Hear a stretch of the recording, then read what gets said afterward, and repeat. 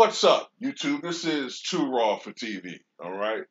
So before I get into this video, um, let me say that this isn't everybody. Okay, this isn't every uh, sports uh, media personality. I'm not seeing everybody doing this, but I'm seeing enough people do this to warrant a video being made by me to counter this. Now, uh, there were two pivotal game sevens over the past uh, week, uh, last couple days actually, between the Milwaukee Bucks and the Nets, and the Sixers, and the Hawks.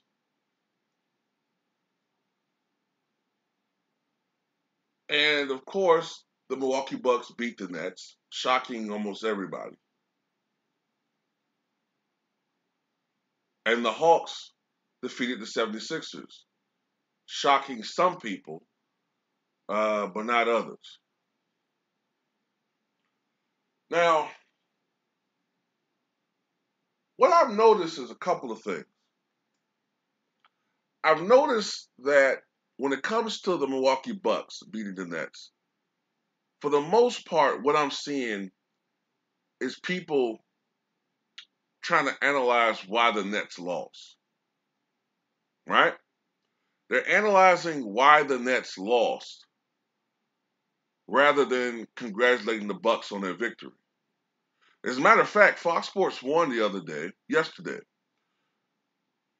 Actually spent a lot of their times trying to ridicule Giannis for uh, I think it was in the regulation when the Nets, I mean, the Bucks could have won the game, but Giannis threw up a shot that hit the side of the backboard. They were making fun of that, right? Playing into the fact that Giannis doesn't have any skills and he can't shoot. However, if I'm not mistaken, Kevin Durant shot an air ball at the end of the game.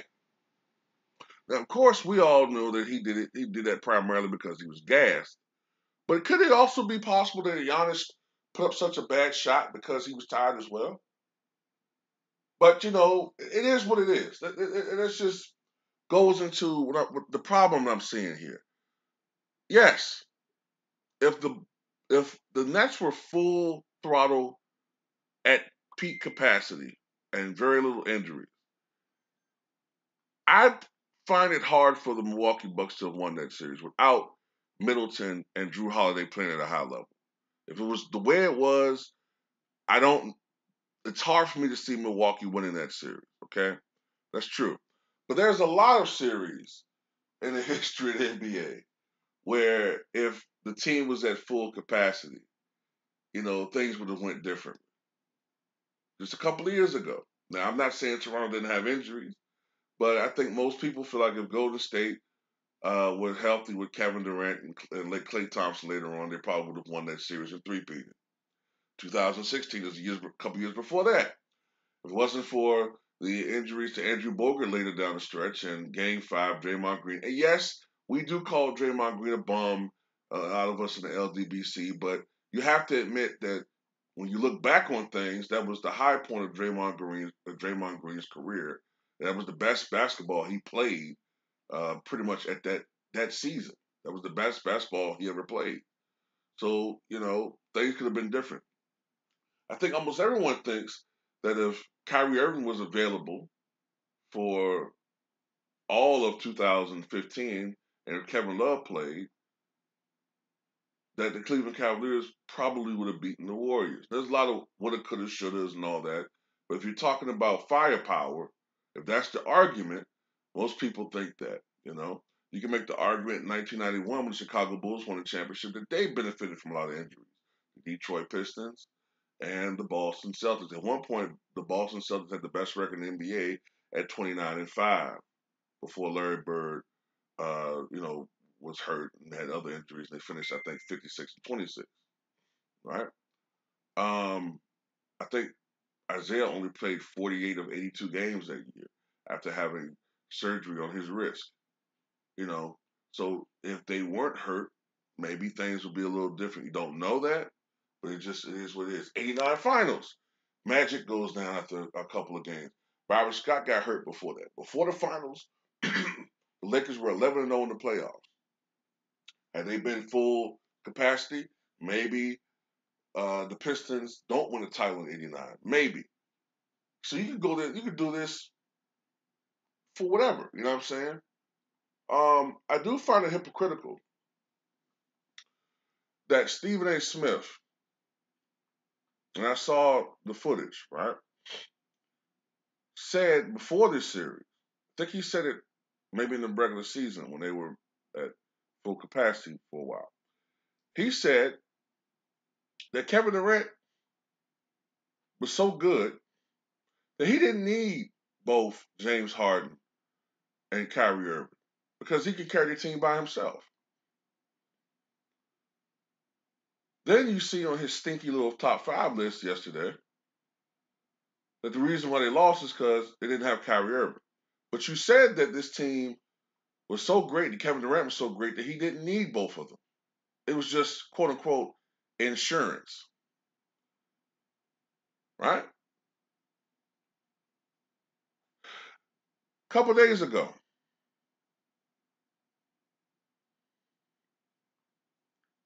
um, they applauded Kevin Durant for his performance in the finals. Two 40 point performances. Nobody congratulated Giannis really on his 40 and 13. Not really. They act like it didn't happen. They act like he didn't put up 40 points and grab 13 rebounds in game seven. It, it, it, it, it, you know, it really boggles my mind with this, right?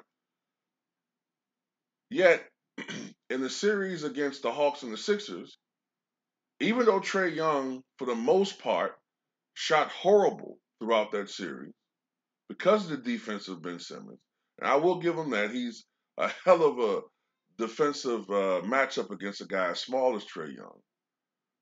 But they gave Trae Young and the Hawks so much credit for their series win over the Sixers, but none to the Bucks.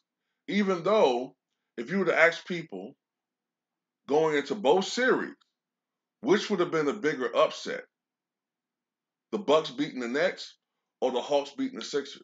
Most people would say, yeah, it would still be an upset for the Sixers to to, uh, to lose to the Hawks, but the Bucks beating the Nets, almost nobody in the world, except for 78 Sports TV, and to a lesser extent myself, because I even had my doubts, but nobody really thought that the Bucks could beat them, right?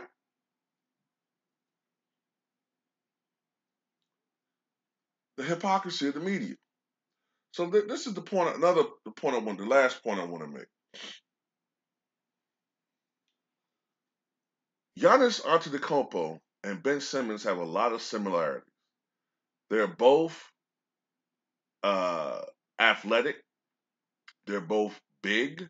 Giannis is a little bit. He's the naturally bigger man, of course, but they're both praised for their size, speed, and athleticism. And they're both you know, known for not being uh, prodigious and proficient with quote unquote skills or, or offensive ability. I'll put it like that shooting ability. But what, for the life of me, I don't understand is how one of them, who is trying to be better, one of them who is trying to be great, one of them who does seem like he cares, one of them who isn't being babied and coddled is ridiculed because he stows up air balls and he, you know, he doesn't always make his free throws and all this. I remember Kobe Bean Bryant. I think it was his first year in the NBA. And they were playing the Utah Jazz. I think it's a series that they lost in five. And Kobe Bryant, I still remember it everybody, you know, I was in high school at the time, right? And everybody, I mean, we at the lunch table, everybody was ridiculing Kobe for throwing up three straight air balls. But the fact that he was trying, despite failure, spoke magnitude to what was inside of him the determination. The fact that Giannis continues, even though people laugh and make jokes about how he can't do this and he can't do that, but he tries. Okay? He is determined to be better. And the only goddamn way you're going to be better is you're going to have to fail first. And fail he did. And no, he's not a good three point shooter, but he continues to try to be better because the only way you're going to get better is to shoot and to keep continue to shoot and continue to practice. And hopefully, the years of practice will begin to show in his game as far as shooting ability on the floor. Because I already see a lot of improvement. You know, the casuals don't see it because all they do is look at they look they look at uh, uh, uh, edited uh, highlight reels made to make him look bad. But I see improvement in his game. Contrast that with Ben Simmons, who reports came out from an anonymous source that he doesn't care, he doesn't try, and that he's babied by everybody, the organization and his family. The only thing he cares about is sticking his dick in sluts. Straight up. This goes all the way back to when he was in college. He doesn't even try. But yet, you know what I saw yesterday, and I'm seeing it today more? People trying to be his psychologist. You know, they're giving him the the mass murder murderer uh, empathy uh, uh, treatment. Well, you look, you know, the guy was having a bad day. Well, look, man, he's having a bad shooting slump. So he's just lost his confidence. We just got to get him back his confidence. You know? Um, Doc Rivers shouldn't have said what he said. No, you don't throw a player on the bus like that. You don't do it. You don't throw a player on the bus. You know, these same motherfuckers, well, some of these same motherfuckers years ago, defended Bobby Knight when he attacked the player.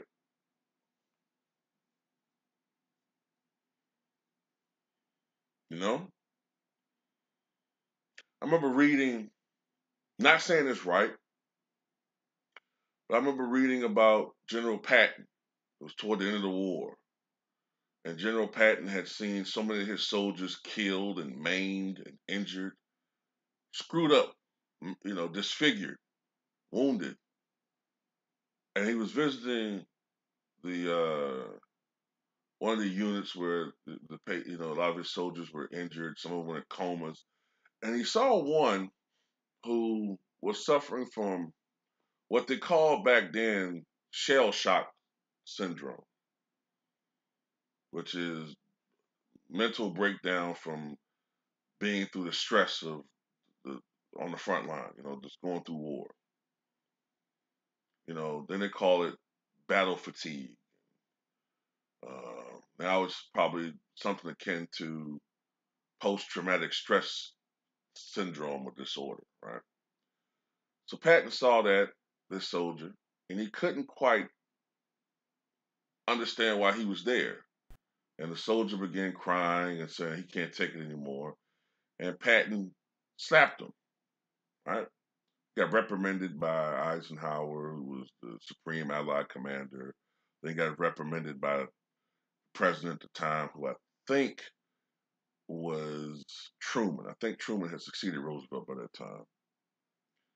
And um, caused a big, big problem. Big problem. He had to apologize to the soldiers. But the thing is, in Patton's mind, you have to you can't might not agree with his actions, but in his mind, the soldiers that were laying around him all had the same fear of dying. Now, I'm not trying to equate a war with sports. I'm just putting out there an example because people like to do this. All these guys got over that fear and even though they had been injured in battle, they got over that fear and they contributed to the larger cause. What Patton couldn't understand is somebody who wasn't even willing to go out there and try and overcome their fear. And uh, you know, in this situation, there's too much babying of players today. I, you know, uh, didn't get paid thirty something million dollars to go work, you know, sometimes sixteen hours a day.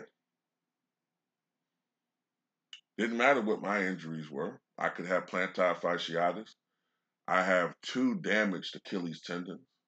I've had a hyperextended knee. I've had uh, torn ligaments in my back. You know what I'm saying? I've had a malady of conditions where, you know, they didn't want to hear me not come to, you know, make up an excuse for I can't come to work. Bills have to be paid. So when I was in the workforce, I had to go out there and, and perform and work, right? And I'm talking manual labor, backbreaking shit at times, right?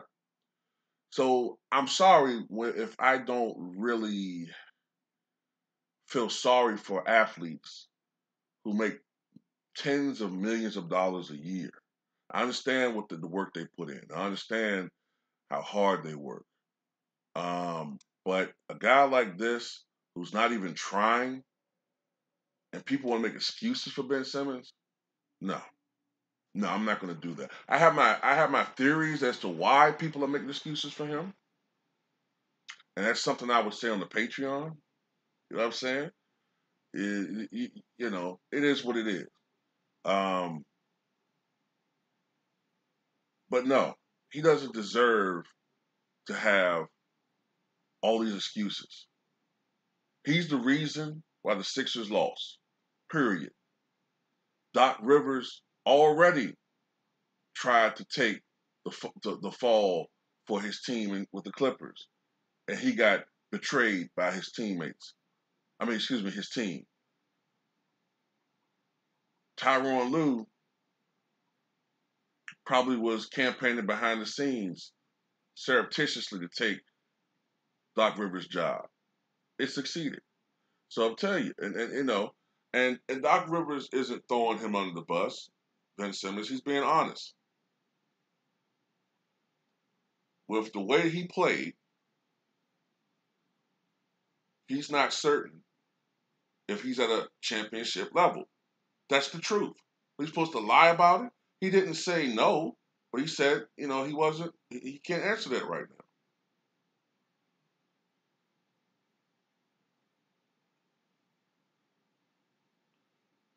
But Ben Simmons gets all of his excuses. And the guy who is trying still gets ridiculed by fans and and that he's a, he he can't play and he can't do this. Yeah, a guy that averages 32 points and 13 rebounds in, a, in an NBA playoff series against the Brooklyn Nets, he can't play basketball. Some people are so fucking stupid. It's it's actually it's mind numbing, you know. But uh, tell me what you guys think.